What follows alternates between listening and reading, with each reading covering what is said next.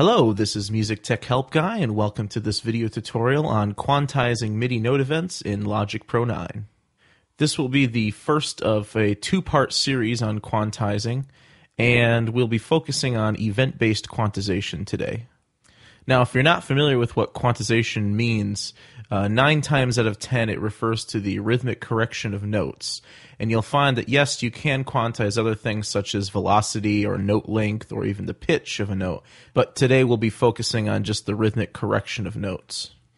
What event based quantize means uh, what it means is that we are going to quantize notes down in the piano roll editor here, and we can do them as a selection. So we can, uh, say, drag over a selection of notes just like so, and only quantize those notes. We can also press Command A, and we can quantize that selection.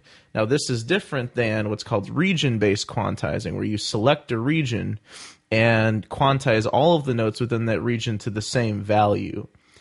Um, that we'll be doing in part two. So, in order to uh, quantize by the event, you have to open up the piano roll editor. If you don't know how to do that, you can just double click on a any MIDI region and you'll get this view. And down here, I have a piano selection I played in. So let's just uh, play that.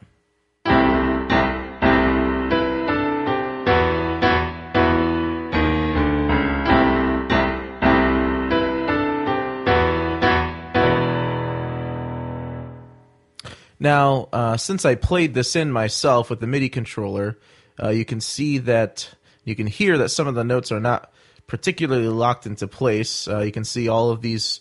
Uh, this particular chord here needs to be moved over to where the white line is. And instead of manually moving these and correcting these, uh, what we're going to do is determine what my uh, lowest, smallest rhythmic value is. It just so happens to be a 16th note. Now I know that it's a 16th note um, by because I set my uh, division down here in the bottom to a 16th note, um, and I can zoom in up here and I can see that uh, uh, this chord here is the very short rhythm, and it's the fourth 16th note of this particular beat. And you kind of have to think about this just like music notation, and it does require a little bit of uh, rhythmic knowledge. All right, so what I'm going to do is I'm going to press Command A, and that'll select all the notes in my piano roll. I'm going to go up to this menu. This is the quantize value menu. It shows us all of the values that we can choose to quantize to. Now, since I said 16th note was my smallest value, I'm going to quantize to the 16th note. So I'm going to go ahead and click on that and watch what happens to my uh, note events in the background there. So now they're all perfectly locked into time. Um, and you'll find that it's actually a little robotic, but it is locked into time. So let's go ahead and play that.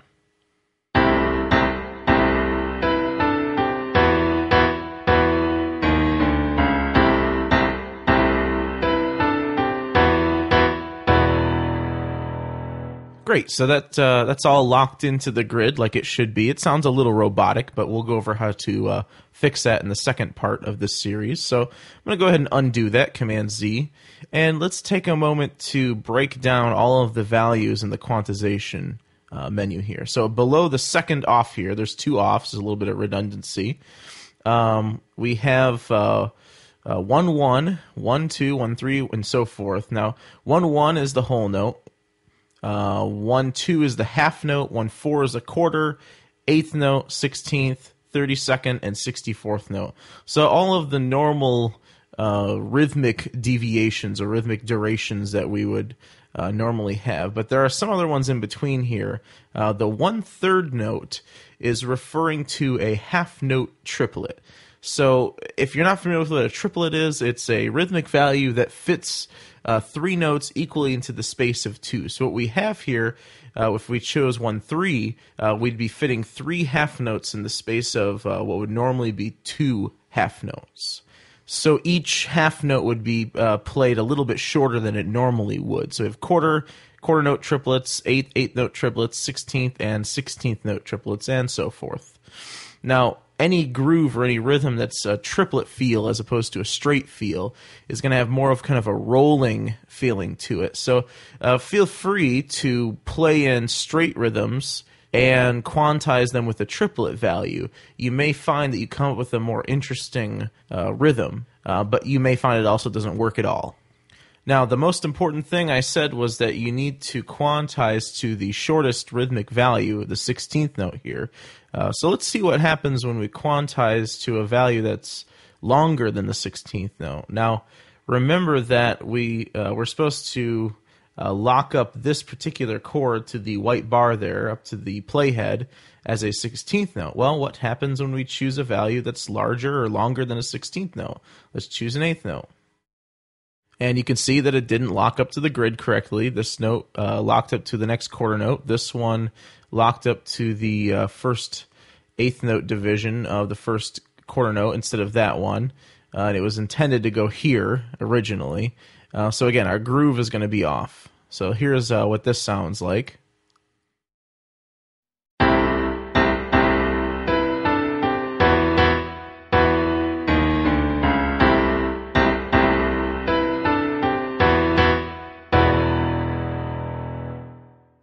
Now the uh, longer notes, the eighth notes and the quarter notes, they lock up fine, but it's just those quick sixteenth notes that uh, don't make any sense and they don't lock up to the grid correctly.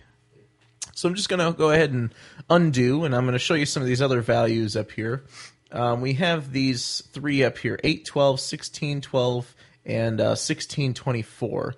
These are what are referred to as mixed quantization values. They refer to two different rhythmic values at the same time. So 8 and 12 is eighth notes and eighth note triplets. 16 and 12 is 16th notes and, and eighth note triplets. 16, 24 is 16th notes and 16th note triplets. Now we also have this one 192nd note up here. This really belongs down here at the bottom. It's the fastest standard rhythmic quantization of, or somewhere, whatever reason they put it up at the top of these other values. Now we also have these complex values, nine tuplet, seven tuplet, uh, five tuplets. The nine tuplet refers to a rhythmic value uh, where you have nine eighth notes equally spaced over uh, one measure of four four time. Uh, in four four time, you have you can have a maximum of four quarter notes or eight eighth notes per measure. So by doing this, what we're doing is we're forcing nine notes into the space of eight to create a very complex and irregular value. Now we also have a seven tuplet, which is the exact opposite. Instead of adding an eighth note, we remove an eighth note, and we're spacing seven eighth notes over the space of eight eighth notes. Now we also have these five tuplet values, five tuplet eight and five tuplet four. A five tuplet eighth note or eighth, five tuplet eighth quantization means that we are forcing five eighth notes to fit in the space of what normally would be four eighth notes. Again, to create a more complex uh, rhythm. Now, five tuplet four means that we are squeezing five quarter notes into the space of four quarter notes. Again, in 4 4 time, you can only have four quarter notes per measure naturally. So with the 5 tuplet 4 quantization, we're squeezing five quarter notes into one measure. Now, the last uh, set of values I want to show you are these uh, 16A through F and 8A through F swing values. And what these do is these quantize to swing values as opposed to what are called straight eighth note or straight 16th note values. Um, for these, I have a completely different um, musical idea here. I've up here in my range area, I have this uh, standard C major scale on the piano in straight eighths.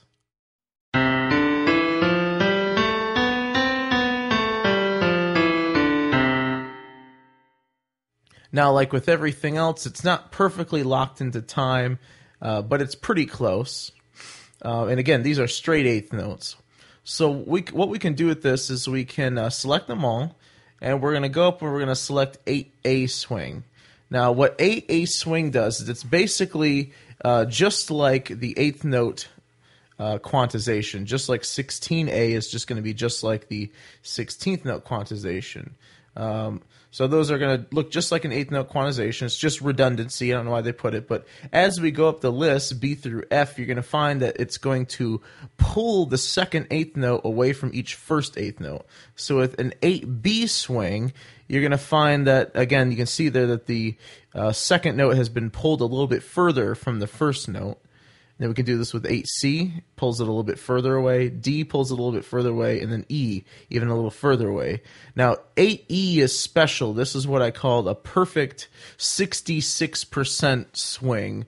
Uh, this is the type of uh, triplet type swing that you're going to hear in most uh, jazz and swing tunes. So here's what this sounds like.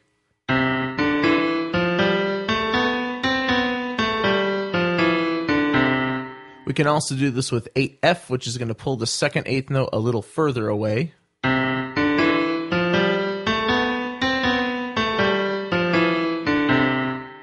Now, you're probably asking yourself, why do we have all these different types of swing? Well, in jazz and in swing music, when a performer has a faster passage, a faster uh, melody, they tend to perform it with less swing, so the two notes are closer together. When you have a real slow song, you tend to emphasize the swing even more, a real hard swing, say something like 8F. Um, to be honest with you, I've never really used 8A, B, or C, but I have used D, E, and F in professional productions. Uh, and the same goes for the 16th note values. If you have a two straight 16ths, you can swing it that way as well. Now, there's a, a few different ways we can actually quantize uh, let me undo here a couple times so I can get back to my original. Um, the first way I showed you is to select all and then choose a quantized value from the menu here. Um, we can do this a couple other ways. We can actually, if we already have a value chosen, we can uh, either select all or we can select just a range of notes. Maybe we just want to quantize these seven notes here and then hit the Q button it'll just quantize the notes that we select. Uh, in addition, we can also do this by dragging over a, over a series of notes or all of them and just hitting the Q button uh, on your computer keyboard. It does the same thing based on the value you have selected. We can also go down to functions, quantize selected events. And then our last uh, way we can do this is with the quantize tool in your menu here.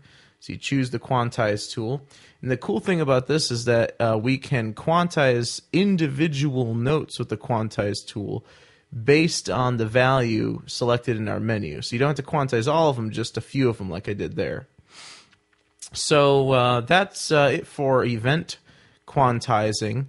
Uh, one thing I have to stress is that um, uh, what's most important here is uh, musicianship. If you don't play the passage of music in uh, somewhat correctly to begin with, you're not going to get the uh, a perfect quantizing result. Uh, quantization is not a perfect science. Uh, you'll find that sometimes you won't get what you wanted because maybe when you played it in, you weren't you know close enough on the grid to begin with.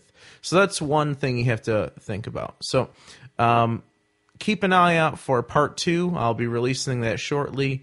And if you have any comments or questions, please leave them in the comments section below. Thank you.